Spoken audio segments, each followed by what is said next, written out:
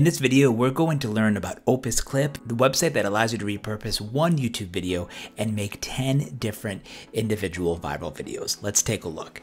So the website is opus.pro. You can log in, but you don't even really need to log into this site in order to create these clips. All you'll need is just a URL.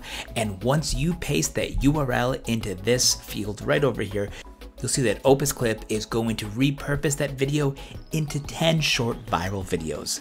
Okay, so here's the video that I'm going to use. It's Sam Altman talking about the future of AI research, so I'm going to copy this link, and I'm going to go back to Opus Clip, and I am going to paste this, and we'll select Get Clips. In just a few minutes, Opus Clip is going to analyze your longer YouTube video and break it up into 10 different individual videos that you can then download and use on YouTube Shorts or TikTok or any other social site. Okay, so here we go. You can see this is the clip that, that I used for this.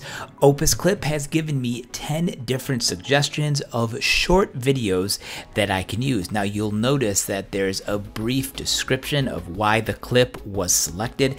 This one says that the video's hook could be intriguing and the content is informative and it gives you an overall viral score. You can see that it's the likelihood that this video will go viral on Shorts, TikTok, or Instagram Now, if I scroll down a little bit, you'll see that there are other clips as well with a similar score that you can see on here. So 10 videos that so this site has given me some suggestions of videos that may go viral. Now one of the things you can do is post directly to your YouTube Shorts account if you connect it from this site, but what I like to do is just to download the video file.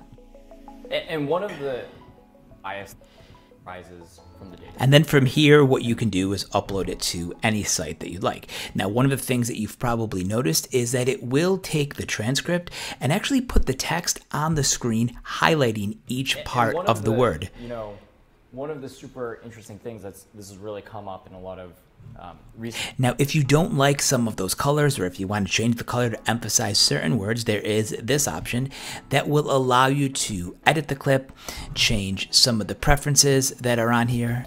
So this is a great way for you to repurpose some of your longer YouTube content or some other content on YouTube by allowing Opus Clip to use AI to identify the most salient parts of your videos, and hopefully those videos will get a lot of views and help you go viral.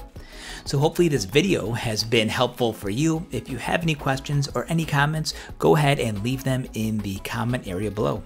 Thank you so much for watching and have a great day.